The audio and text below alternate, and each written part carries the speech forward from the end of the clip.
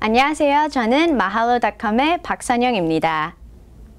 Hi, my name is Sunny Park uh, from mahalo.com and I'm here to teach you some Korean phrases. I'm going to teach you how to say goodbye and see you later in Korean. It's 잘가 or 안녕.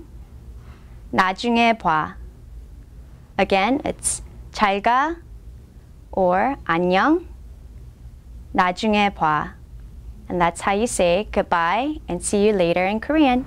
Thanks for watching. I'm Sunny Park at mahalo.com. And if you'd like to learn other phrases in Korean, you can click on any of these links. And if you have other requests, then you can um, email us at request at mahalo.com for other phrases or words to learn.